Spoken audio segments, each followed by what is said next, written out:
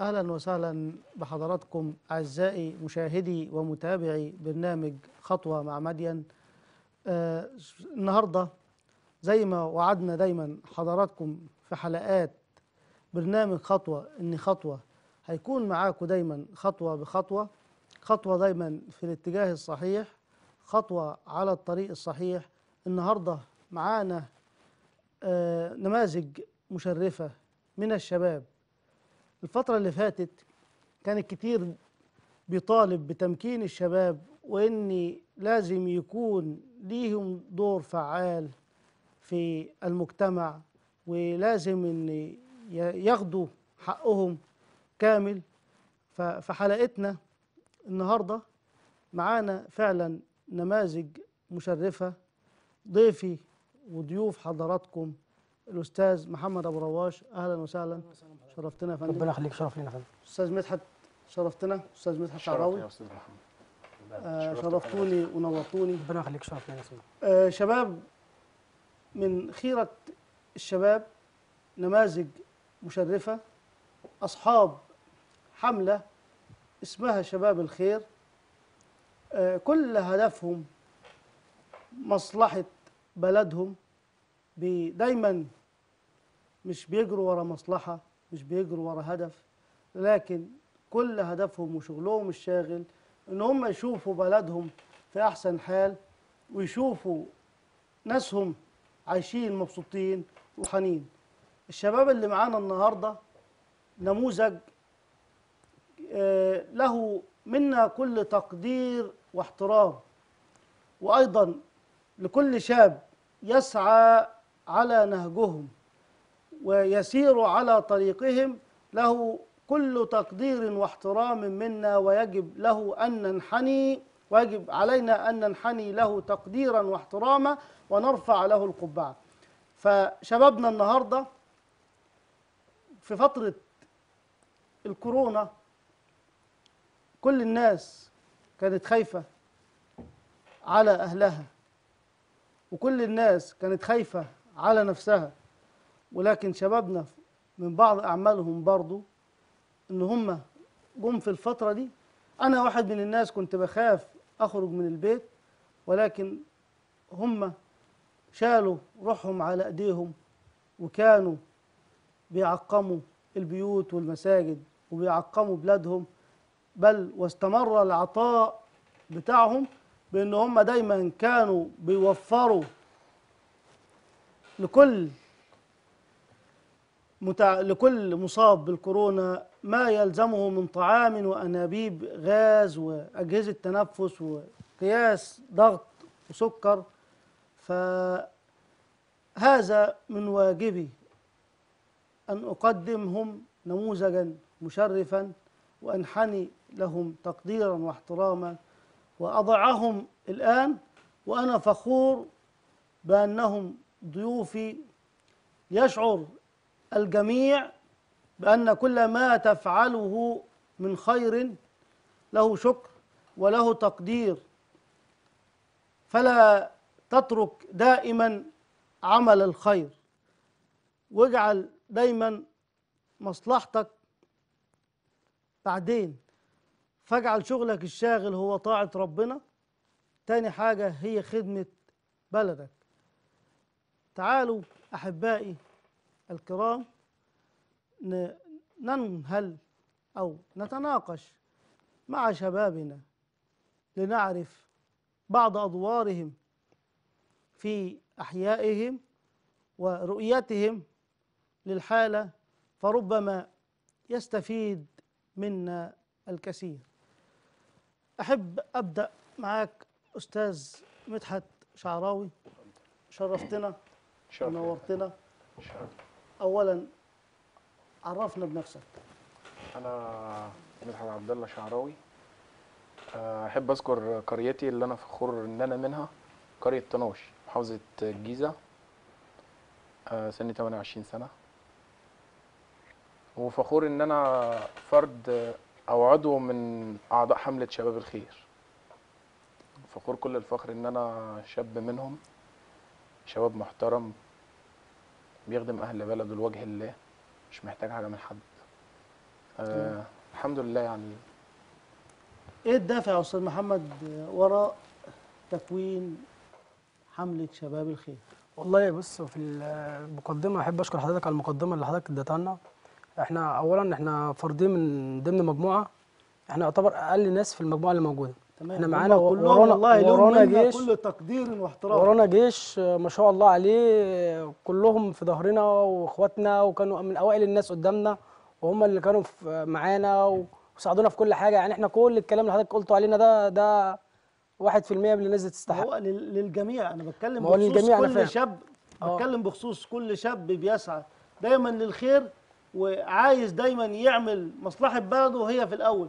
فبقول له اطمن إن مجهودك مش هيروح هباء تمام. فحتى لو ما فيش حد شكرك فربنا طبعا عنده الجزاء الأحسن صح. وهيعوضك خير ونعم بالله فأنا سبب وجو- وجودكم هنا إن أنا حبيت أجيبكم كنموذج مشرف لكل الناس اللي بتتكلم وبتقول لأ آه، الشباب ملوش دور فعال الشباب لازم يتمكن فعايز أوصل لأن معظم الناس لمعظم الناس إن بعض الشباب هو اللي بيخ بيخ بي بي بيقود نفسه إلى طريق الفشل الحمد لله على كل حال. وفي ناس وفي شاب فعلا بيبني نفسه. صح. فحلقتنا هتبقى النهارده عن طبعا دوركم في مجتمعكم كشباب للخير وتصوركم إزاي الشاب يكون فعال وازاي يمكن نفسه في ال- الأوضاع السياسية والحالة السياسية والفترة اللي جاية؟ هو لازم يكون الشاب يعني عنده رؤية إن يكون هو قادر على إن هو يعمل عمل الخير ويبتدي إن هو يشتغل على نفسه في حياته. لازم يكون هو أساسا عنده يعني قدرته إن هو يبتدي إن هو يشوف ال- الخير اولا إن هو مش إن هو بي إن هو مستنيه. ده, ده حاجة بتاعت ربنا هو المفروض إن هو بيعملها قدام ربنا وبتسأل عنها يوم القيامة. يعني انت قدامك ناس لازم ان انت في استطاعة منك ان انت تقدر آه، تخدم الناس وتخدم أهلك. ليه ما تكونش انت سبب؟ يعني ربنا جعلك سبب ليه ما ما, ما, تعملش ال- ال- الواجب اللي عليك؟ فاحنا كنا دي أقل حاجة إحنا كنا بنعملها قدام قريتنا وقدام أهلنا وقدام ناسنا لأن إحنا الناس دي مسؤولة مننا وإحنا كنا نتمنى إن يكون معانا أعداد أكبر وناس أكتر. وما شاء الله يعني في ناس برضو ابتدت تشتغل معانا. في مجموعة تانية اسمها أحباب الخير ابتدوا إن هم يشتغلوا معانا. وبقت في مساعدة منهم ومساعدة مننا. والحمد لله رب العالمين قدرنا في فتره فترة الكورونا إن إحنا نكون أقل قرية عندها أعداد الكورونا. والحمد لله فضل ربنا طبعا قبل أي حاجة وقدرنا برضو نوفر العلاج وقدرنا نوفر آه، اسطوانات الأكسجين والحمد لله رب العالمين. أستاذ مدحت منين جات لكم الفكرة؟ الفكرة جات لنا لما لقينا كورونا دي بتزيد. إحنا قلنا مش هنستنى. اشتغلنا في بلدنا ببخاخه صغيرة بدايه جدا. بدايه, بداية التكوين كانت إمتى؟ يعني بداية تك... آه، قيام شباب الخير بقى أو انفعالهم آه. أو دورهم الفعال فعلا على أرض الواقع كانت آه، إمتى؟ كتاريخ مش مش متذكره بالظبط بس هو كان في شهر ثالث ثلاثة تمام. في شهر ثلاثة كان أول عمل إيه؟ ابتدينا بالمساجد. كانت المساجد في الفترة دي مفتوحة و- والناس بتصلي جوه المساجد. كنا بن كل قبل الصلاة بن كل واحد بياخد مسجدين تمام. قبل الصلاة بنص ساعة. يروح يعقم ال- الحمامات والمكان اللي بيتوضوا فيه والسجاد. كل مكان ملموس بالإيد البيبان الشبابيك التكييفات. كل مكان في المساجد كنا بنعقمه. كنا بسم الله ما شاء الله الشباب كلها نتوزع على المساجد بتاع البلد كلها. تخلصها قبل الصلاة. كل قبل الصلاة بنص ساعة لازم نعقم المساجد. بعد كده ابتدينا بالشوارع. كنا شغالين ببخاخة صغيرة. بنلف قريتنا دي نشتغل من من الساعة 2 الظهر لحد ممكن الساعة 2 3 بالليل. بعد كده اتطورنا وجبنا جهاز. بيتشال على الكتف. آه، وابتدينا نشتغل بيه. بقى يقلل معانا الوقت شوية. بدل ما كنا بنشتغل الساعة 2 الظهر بقينا نشتغل بعد العصر الساعة 4 5 الكلام ده كله كان في فترة آه، طبعا كورونا قبل ما أصلا الكورونا الحمد لله يعني قبل ما تنتشر في مصر. فأنت ابتدينا إحنا اشتغلنا في آه، قريتنا فشباب الخير كانت واخدة ال- ال- السد المنيع أو آه الحاجز كنا واخدين الموضوع بجد. مفيش هزار. مش ه... الموضوع ده مفيهوش هزار. اشتغلنا قبل ال... يعني ما يتذكر إن في حالة في مصر. الحمد. لله. اللهم لك الحمد. اشتغلنا في قريتنا الحمد لله اللهم لك الحمد بفضل ربنا الأول. آه، أقل قرية في القرى المجاورة آه، في عدد الحالات الكورونا. في حالات الكورونا برضو اللي كانت عندنا تابعناها اخترنا بنفسنا وتابعناها وعلاج محدش ينزل من البيت لو اشتباه بس حتى مش كورونا أكيد بس اشتباه. خليك في البيت. وإحنا فاصل ونرجع لحضراتكم تاني مع ضيوف الكرام.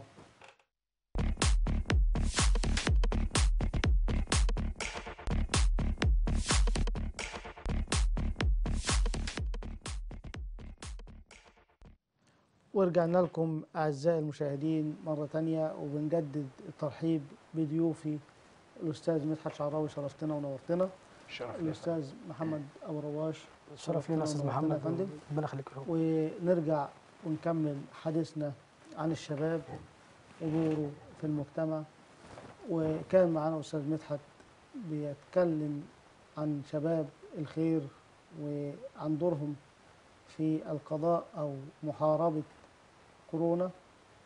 وهنسأل أستاذ محمد هل إيه بعض الأعمال اللي قامت بيها شباب الخير مرة تانية؟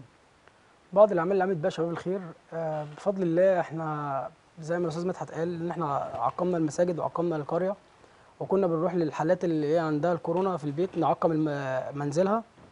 وبعض الأعمال كمان إحنا ابتدينا بتطوير آه، شارع المقابر. سور المقابر ابتدينا بد- بدهان بطلاء ال- الأوجه. وابتدينا إن إحنا نكتب عليه آيات قرآنية. وجملنا الشارع ببعض من الزرع والأشجار والكلام ده. وابتدينا برضو لخدمة بلدنا. في ما شاء الله كان عندنا طلبة متفوقين في الثانوية العامة. بفضل الله قدرنا بالمجهود الذاتي. إن إحنا نعمل حفل التكريم لأوائل الطلبة. الحفلة دي ما اتعملتش من فترة كبيرة جدا في قريتنا. تمام. فإحنا ابتدينا إن إحنا بالتعاون مع مركز شباب طناش. ابتدينا إن إحنا عملنا معاهم ال- الحفلة وكرمنا الأوائل. والحمد لله رب العالمين كان عندنا نسبة تفوق السنة دي ما شاء الله عليها يعني فوق الممتاز الحمد لله رب العالمين. وبنتمنى المزيد في البلد. وطبعا بقى حوار الكورونا ده كان اسطوانات الأكسجين اللي كنا بنوفرها وال والعلاج والأغذية والحمد لله رب العالمين والعلاجات كل حاجة الحمد لله رب العالمين قدرنا نعملها ما, ما قدرناش نبخل بيها يعني كل حاجة عملناها الحمد لله رب العالمين. ربنا يبارك. ربنا يخليك. أستاذ مدحت تقول إيه للناس اللي بتقول الشباب ملوش دور أو بيحاولوا يهمشوا الشباب؟ لا طبعا الشباب آه، هو الدور الفعال. الشباب عليه دور كبير جدا. ولازم الشباب يكون عنده هدف يكون عنده هدف يجري وراه عشان يحققه. تمام. الدور ال ال يعني البلد دلوقتي دورها كله قايم على الشباب. طبعا الناس كبيرة على دماغنا من فوق اللي هم أيوه مني كل هو- بص الاحترام. هو عامة بس- عماد أي أمة هو الشباب الشباب. الشباب. طبعا. صح. فأنت لو عايز تبني أمة لازم تهتم بالشباب الشباب. بتاعك. بس إحنا دلوقتي بنشوف الشباب مش عارف يعني في رأي حضرتك اختفاء الشباب على الساحة. أو مش هنقول إحنا مش شايفين مش شايفين له دور ملحوظ هنقول بصورة قليلة جدا. مين السبب فيه الشباب ولا الخبرات اللي هم الناس الكبار؟ صراحة هتكلم بصراحة في الموضوع ده. آه الخبرات من الناس الكبار إني المفروض أنا شاب ممكن أكون يعني عايز سن شوية. فالمفروض إن آه واجب الراجل الكبير تجاه الشاب ان يوجهه تمام. يوجهه يشوف إيه الميزة فيه ويخصصه فيها. تمام. يعني أنا مميز في حاجة سيام مثلا في الكورة أوجهه. ما بخلش عليه بمعلومة. لازم أوجهه اتجاه الهدف الصحيح. ما سيبوش اللي هو الأيام اللي إحنا فيها دي يعني ربنا يستر على الشباب و فأنا بحمل المسؤولية دي يعني للناس الكبيرة ان توجه الشباب اللي الشباب عايز يتوجه للطريق الصحيح. تمام المفروض إن هم يحطوا إيديهم في إيد بعض تمام. ويبقى كل هدفهم واحد. إزاي يبني الشاب؟ تمام. أستاذ محمد أنا كشاب تمام إزاي من وجهة نظرك أبني نفسي وأفرض نفسي على الساحة؟ أبني يعني في كتير قوي ما بيعترفش بالشاب ماشي أو بيهمش دوره. هي دي دي بس مع- أنا كشاب عايز آه أحط نفسي على الساحة ويبقى ليا دور. هو حضرتك قلت الشباب أعمدة ال- الدولة تمام؟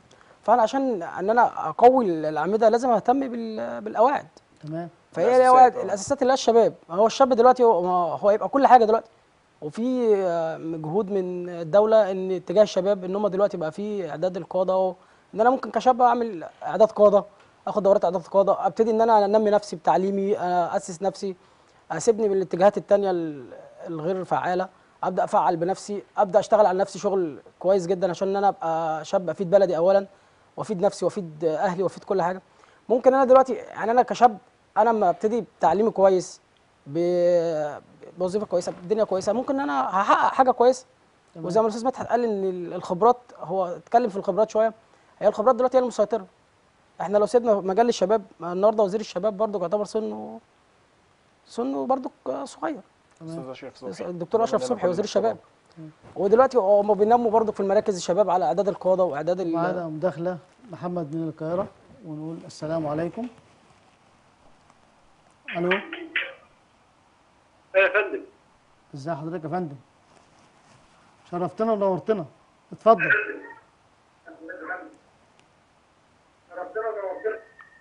ومن فضل من فضل حضرتك وقت التلفزيون وعلى ما يبدو إن الاتصال اتقطع أصلا. ونرجع لحلقتنا تاني. أستاذ مدحت هو أستاذ محمد قال إن عشان الشاب يفرض نفسه على الساحة لازم إن هو يبني نفسه وينمي قدراته. تمام؟ تمام. آه هل تصور حضرتك إيه تاني؟ وأنا رأيي بصراحة من رأي الأستاذ محمد. بس هو اتكلم في في نقطة أنا حابب أتكلم فيها من أيوة. خلال برنامج حضرتك إن هو ناشد آه، وزير الرياضة. تمام. آه، الدكتور أشرف صبحي اللي مننا كل التقدير والاحترام إن عندنا في القرية مركز الشباب. تمام. آه، يعني إحنا نفسنا بجد يكون لنا في القرية ملعب خماسي. مش هقول ملعب 11 قانوني. آه، شباب صغير عندنا يعني لو ده أقل حاجة آه، يعني دي أقل حاجة. دي أقل حاجة يعني ب... يعني آه، الشباب الصغير دلوقتي مهتم بالكورة. في دلوقتي مجلس إدارة ماسك عندنا آه، مج... آه، مركز الشباب. آه، بصراحه عاملين دور. إحنا أول مرة أنا على مستوى الشخصي من يوم ما اتولدت أول مرة أشوف الأنشطة اللي بيعملوها. أقل حاجة أكاد... عملوا أكاديمية محترمة للأطفال. تمام. طالعين من الأطفال دول أربع لعيبة دلوقتي متسجلين في النادي الأهلي. تمام. يعني حاجة بصراحة ربنا محترمة جدا.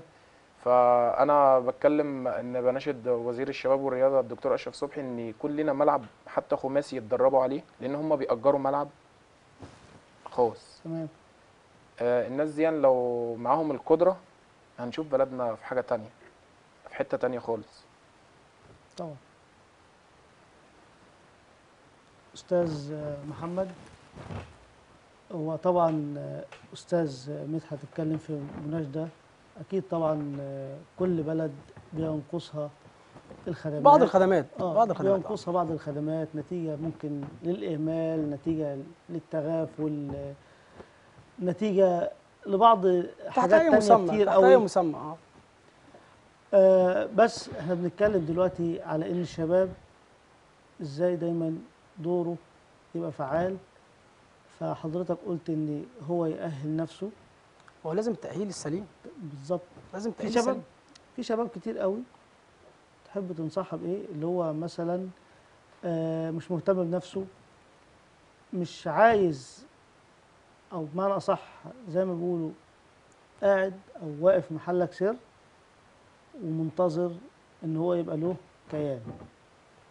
منتظر نعم. منتظر إن الكيان ده هو اللي يبني كيانه بنفسه. تمام؟ منتظر إن كل حاجة مش حد هيجي يعمل لك حاجة في بيتك وأنت قاعد. أنت اللي هتعمل بنفسك وأنت اللي هتعمل نفسك وأنت اللي هتعمل مكانك وأنت اللي هتعمل كيانك وأنت اللي هتعمل كل حاجة. أنت بايديك تعمل حاجات كتير قوي الشباب ما شاء الله بإيديهم يب- يبنوا البلد ويهدوا البلد ويبنوها وبإيديهم كل حاجة يعملوها. فأنت ما تنتظرش حاجة من أي حد إن حد يعمل لك حاجة.